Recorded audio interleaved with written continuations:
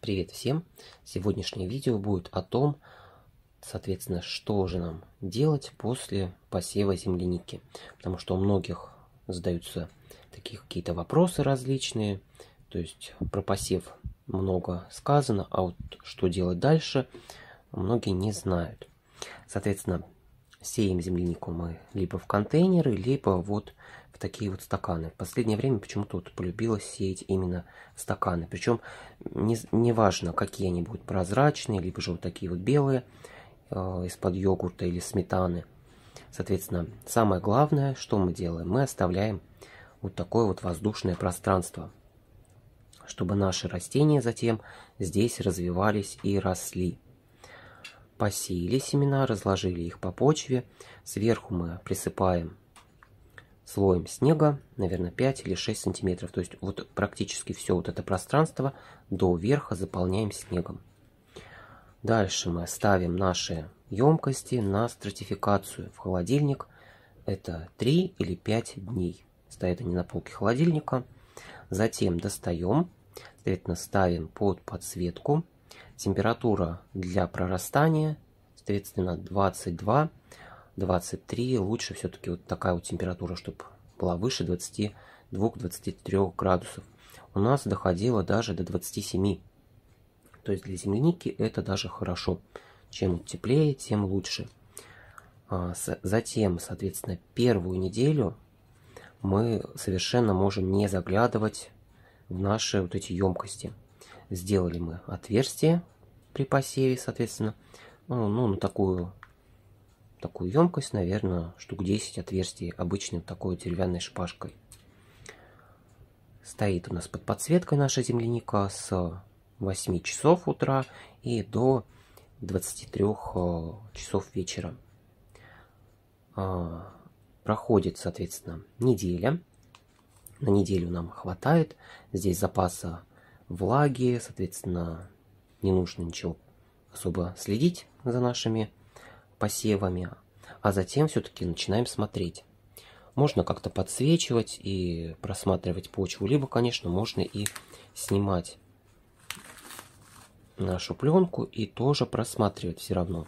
Потому что на некоторых, э, так сказать, сайтах пишут, вообще не надо там заглядывать. Все-таки не нужно переувлажнять почву потому что тогда образуется все-таки болото. То есть грунт при посеве у нас чуть влажный, снег, и этого достаточно. Семена можно предварительно а, именно для крупноплодных вот таких вот земляник их замочить, а, например, в растворе эпина. 1-2 капли эпина на 100 мл жидкости. 2-3 часа, и семена у нас, соответственно, питаются влагой, набухнут. И затем, пока они у нас стратифицируются в холодильнике, они, соответственно, тоже набухают. Влаги тут достаточно. Но через неделю, соответственно, начинаем следить. Если вдруг заметили подсыхание, берем, соответственно, обычная вода здесь у нас налита. И вот так вот по краешку емкости проходимся. То есть поливаем.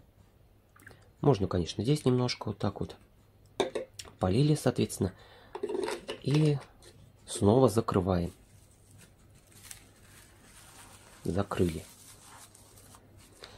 И снова ставим, конечно же, под подсветку. Затем, соответственно, как только замечаете, что начинает земляника прорастать, а это будет довольно хорошо видно, на семенах а, будет образовываться такой как бы белый пушок, то есть семена у нас прорастают. И, соответственно, что нам нужно делать? Только следить за, соответственно, влажностью, то есть чтобы не было пересыхания, потому что все-таки вот здесь с краю раньше начинает пересыхать, в центре все-таки влага сохраняется, а с краю может быть пересыхание. Снова закрываем. И в принципе вот такой вот довольно легкий совершенно уход.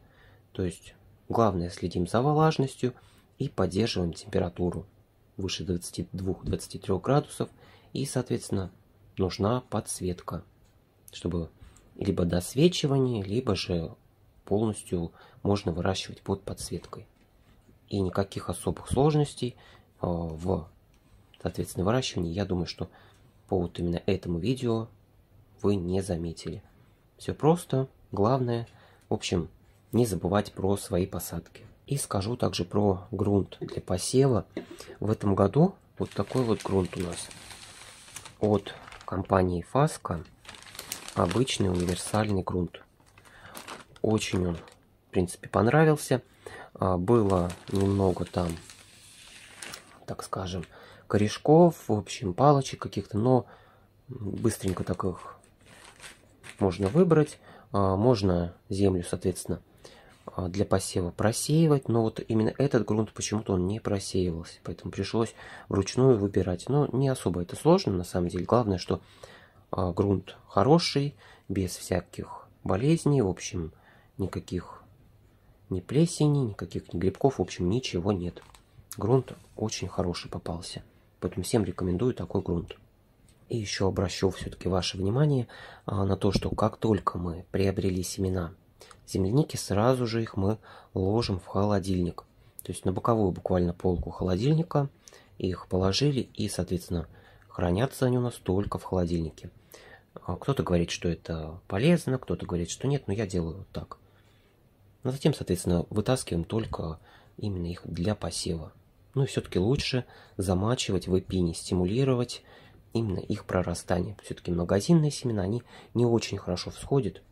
Нужно их вот так вот, так сказать, подтолкнуть к этому.